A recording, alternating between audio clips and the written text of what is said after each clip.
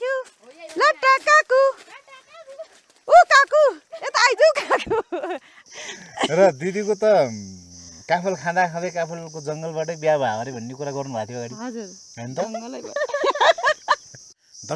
म यति बेला काफल पाक्ने ठाउँमा छु र मलाई जहाँसम्म लाग्छ तपाईँहरू धेरैजनाले यो काफल भन्ने फल चिन्नुभएकै छ र कतिजनाले त खानुभएको पनि होला। सम्पूर्ण दर्शक महानुभावहरूलाई म के अनुरोध गर्न चाहन्छु भने यो काफलको फल टिप्न त्यति सजिलो चाहिँ छैन। तपाईँहरूले हेरिसक्नु भएको छ यत्र यत्र ठुल्ठुला रुखहरू चढ्नुपर्छ यत्रो ठुलो घनागोर जङ्गलमा आउनुपर्छ। त्यसैले चाहिँ म तपाईँहरूलाई के अनुरोध गर्न चाहन्छु भने यदि तपाईँहरू चाहिँ बजारबाट पसलबाट काफलको गेडा चाहिँ किनेर खाँदै हुनुहुन्छ भने तपाईँहरूले पचास सय रुपियाँ जति रुपियाँ माना भने पनि बार्गेनिङ नगरेर चाहिँ खाइदिनु हुन अनुरोध गर्न चाहन्छु किनभने कतिपय महिला दिदीबहिनीहरूले चाहिँ यसलाई चाहिँ आजभोलिको सिजनमा चाहिँ एउटा पेसाको रूपमा दुई चार रुपियाँ कमाउने उद्देश्यले चाहिँ पेसाको रूपमा अँगाल्नु भएको छ। र त्यही दिदीबहिनीहरूले चाहिँ लगेको काफल तपाईँहरूले खाँदै हुनुहुन्छ। त्यसैले तपाईँहरूले चाहिँ बार्गेनिङ नगरेर चाहिँ खाइदिनु होला भनेर अनुरोध गर्न चाहन्छु। म यति बेला रुकुम पूर्वको सदरमुकाम रुकुमकोट बजारदेखि लगभग दस बाह्र किलोमिटर यो उत्तरतिरको माथिको जङ्गलमा छु। र आजभोलिको सिजन भनेको काफलको सिजन छ र काफलको सिजन पनि लगभग अन्तिम चरणमा गइसकेको छ। र यति बेला यो एकदमै घनाघोर जङ्गलभित्र छु म र एकदमै आनन्द फिल भइराखेको छ। र यो जङ्गलमा आजभोलि चाहिँ तपाईँको लाली गुराँसको सिजन चाहिँ लगभग सकिसकेको छ। एउटा अँ, लाली गुराँसको फुलहरू देख्न सकिन्छ। त्यो पनि ओइलाउन लागेको अवस्थामा देख्न सकिन्छ भने यति बेला यो जङ्गलमा चाहिँ काफलका फलहरू देख्न सकिन्छ पाकेको देख्न सकिन्छ मजाले। र हामी अहिले यो जङ्गलमा छौँ र यो जङ्गल र अधिकांश यो जङ्गलमा चाहिँ अधिकांश काफलका बोटहरूले भरिएको जङ्गल छ। ए बाबा सब काँचा पनि खसिसके। काकु। यता काकु। आन्न त काफल त काफल कस्तो लाग्यो मिठो अनि दिदी मिठो कहिले खानु भएको थिएन क्या हो बहिनीको हात हो झन् मिठो हो हजुर झन् मिठो र अहिले एकदमै आनन्द फिल भएको छ यो जङ्गलमा एकदमै पछाडिपट्टि यो अ, झाउँकिरीको आवाज अनि यो अलिकति मधुर आवाजमा चाहिँ कोइलीको के अरे न्याउलीको आवाज पनि सुन्न सकिन्छ र एकदमै रिफ्रेस फिल भएको छ। र दिदीसँग भेट भयो र दिदीले चाहिँ बोलाउनु भएको थियो। विशेष गरी चाहिँ यहाँ यो ठाउँमा चाहिँ काफल पाइन्छ भनेर बोलाउनु भएको थियो। त्यही भएर चाहिँ हामी आयौँ यहाँ र एकदमै खुसी लाग्यो दिदीसँग भेटेर। यो काफल पनि टिप्नु भयो र यति धेरै काफल टिप्नु भएको छ नि दिदी काफल यो। यहाँ खान मिल्छ यो। अनि अनि चाहिँ हाम्रो दिदी चाहिँ यो काफलको जङ्गलको नजिकै घर हुने दिदी हुनुहुन्छ। र उहाँको चाहिँ सानैदेखि उहाँले पाँच छ वर्षदेखि नै यो जङ्गलमा आउने घाँस दाउरा गर्ने काफल खाने अ, गर्नुहुन्थ्यो अरे होइन दिदी? हजुर। र दिदीको त काफल खाँदा खाँदै काफलको जङ्गलबाटै बिहा भयो अरे भन्ने कुरा गर्नुभएको थियो अगाडि। हजुर।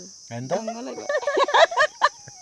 एकदमै यो रमाइलो पनि हो र यस रियल पनि हो। उहाँको चाहिँ बिहा यस यस यस्तै ठाउँबाट काफल खाँदै गर्दा चाहिँ यहीँ चाहिँ उहाँको अहिलेको श्रीमानसँग चाहिँ भेट भयो। अनि त्यसपछि अलिअलि लभ पऱ्यो माया प्रीति बस्यो। त्यसपछि चाहिँ बिहा गर्नुभयो नि त दिदी? भनेपछि यो काफलको जङ्गलसँग उहाँको चाहिँ गहिरो सम्बन्ध छ माया प्रीति छ। र तपाईँहरू धेरैजनाको पनि यस्तै दिदीको जस्तै कहानी होला। अब घाँस दाउरा गर्दै गर्दा मेलापात गर्दै गर्दा होइन अब तपाईँको नि प्रेमी प्रेमिकासँग भेट भयो होला त्यसपछि बिस्तारै सम्बन्ध गहिरो हुँदै गइसकेपछि अन्तमा बिहेमा परिणत भएको होला कतिपय साथीहरूको होइन। अब अहिलेको त होइन फेरि अलिक पहिलाको दिदीहरूको पालामा हाम्रो पालामासम्म चाहिँ का मान्छेहरूले चाहिँ यस्तो यस्तो इन्सि इन्सिडेन्टले चाहिँ बिहे भएको हुनसक्छ है। तर अहिले त एकदमै डिजिटल जमाना छ। फोन गर्छन्। फोन गरेर यो फलान ठाउँमा हलान ठाउँमा आ भनेर चाहिँ भेटसेट गरेर डेटिङ गरेर के गरेर बिहे बिहे गरिहाल्छन्। तर चाहिँ पुरानो जमाना थियो होइन त दिदी? त्यो जमाना तपाईँ हाम्रो पालाको जमाना के? त्यति बेला के थियो भने यस्तै घाँस पात गर्ने हामीसँग मोबाइल थिएन। हो कि ल भन्नु त? अनि त्यसपछि गर्दै गर्दा त्यसपछि भेट हुन्थ्यो। मसित त थिएन हजुरसित के छ त? मसित त थिएन। अरे। अलिअलि लेख्ने हुन्थ्यो थिएन नि हामीसँग पनि थिएन। पछि फोन त अलिअलि गऱ्यो तर हामीसँग त्यति बेला पै फोन आए पनि किन्ने पैसा थिएन कि? मतलब चाहिँ त्यो बेला। अनि त्यो जमानाको दिदी त्यो जमानाको दिदी भने फेरि फेरि हामी सबै एउटै जमानाका हौ। होइन। दर्शकवृन्द म यति बेला काफलको बोटमा छु। काफलको बोट यस्तै हुन्छ होइन? कतिपय साथीहरूले हेर्नु भएको छैन भने। र यो काफल अहिले हामी टिपेर झरिसकेका छौँ र केही एउटा एउटा दुईवटा फल मात्रै बचिएको छ यो काफलको रुखमा र एकदमै आनन्द फिल भइरहेछ यो घनाकोट जङ्गल छ यो जङ्गल भित्र पस्दा तपाईँहरूले सुनिराख्नु भएको छ यो ब्याकग्राउन्डमा चाहिँ यो झ्याउकिरीका आवाजहरू बासिराखेको अनि अलि टाढा टाढा त्यो पारीको जङ्गलतिर न्याहुलीहरू चाहिँ बासिराखेको पनि सुन्न सकिन्छ।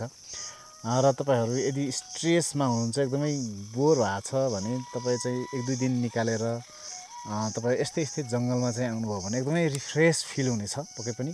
र आज मेरो उद्देश्य पनि यही थियो। र आजको शनिबार पारेर म यो जङ्गलभित्र आएका छौँ बुढाबुढी। र एकदमै रिफ्रेस फिल भएको छ। प्रकृतिसँग चाहिँ नजिक रहेर तपाईँहरू चाहिँ रमाउन खोज्नुभयो भने एकदमै तपाईँहरू खुसी हुनुहुनेछ पक्कै पनि मलाई जहाँसम्म लाग्छ।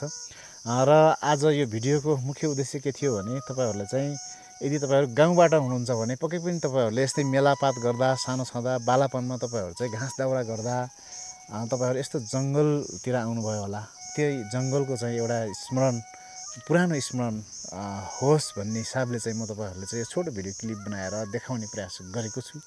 र पक्कै पनि तपाईँहरू चाहिँ याद आयो होला। यदि तपाईँहरू चाहिँ सहरबाट हुनुहुन्छ भनेपछि चाहिँ तपाईँहरूलाई पक्कै पनि यो थाहा छैन र मलाई जहाँसम्म लाग्छ हाम्रो देश नेपालको अधिकांश भूभाग यस्तै जङ वन जङ्गल छ होइन? तपाईँहरू लगभग असी नब्बे प्रतिशत मान्छेहरू यस्तै गाउँबाट हुनुहुन्छ। त्यसैले चाहिँ पक्कै पनि तपाईँहरूको चाहिँ बालापनको याद आयो होला मलाई जहाँसम्म लाग्छ। तपाईँहरू अहिले जुनसुकै ठाउँमा भए पनि जुनसुकै देश प्रदेशमा भए पनि सहर बजारमा ठुल्ठुला सहरमा भए पनि अहिले तपाईँको चाहिँ पुरानो चाहिँ बालापनको याद पक्कै पनि आयो होला भन्ने मलाई विश्वास लागेको छ। मलाई चाहिँ एकदमै याद आउँछ बालापनको बालापनका साथीहरूको पनि याद आउँछ। र त्यो बेला तपाईँहरूलाई पनि पक्कै पनि याद आयो होला तपाईँहरूको सानो छँदा यस्तै घाँसपात गर्दाखेरि तपाईँहरूको चाहिँ साथी को थिए को को साथीहरू थिए होइन? ती साथीहरूको पनि एकदमै झल्झल्ती याद आयो होला। मलाई जहाँसम्म लाग्छ। मलाई एकदमै अहिले यो बोलिराख्दा तपाईँहरूलाई चाहिँ यो भिडियो बनाइराख्दा मलाई पनि ती विगतका साथीहरूको चाहिँ याद आइराखेको छ। एकदमै झल्झल्ती मैले टेकेका पाइलाहरूको पनि याद आइरहेछ होइन? आफूलाई जन्म दिने आमा र आफू जन्मेको ठाउँको याद त जसलाई पनि आउँछ होइन? अभियसली आउँछ तपाईँहरूले पनि आइराखेको होला। र पक्कै पनि आजको मेरो उद्देश्य मैले चाहिँ पुरा गरेको छु। यस्तै जङ्गलमा रमाउनु थियो र केही काफल टिपेर खानु थियो र हामीले चाहिँ काफल टिपिसकेका छौँ थोरै धेरै। र अब हामी फर्किने बेला छौँ र तपाईँहरूलाई पक्कै पनि यो भिडियो राम्रो लाग्यो। तपाईँहरूलाई चाहिँ राम्रो लाग्यो भने तपाईँहरूले एक लाइक र एक सेयर गर्नु होला यति भन्न चाहन्छु। र अर्को भिडियो हेर्नको लागि मेरो यो सिस्ने टिभी फेसबुक पेजलाई चाहिँ लाइक र फलो गरेर जोडिनु होला म यस्तै यस्तै भिडियोहरू लिएर फेरि पनि आउने गर आउने नै छु। त्यति म बिदा चाहन्छु। हस्त नमस्कार।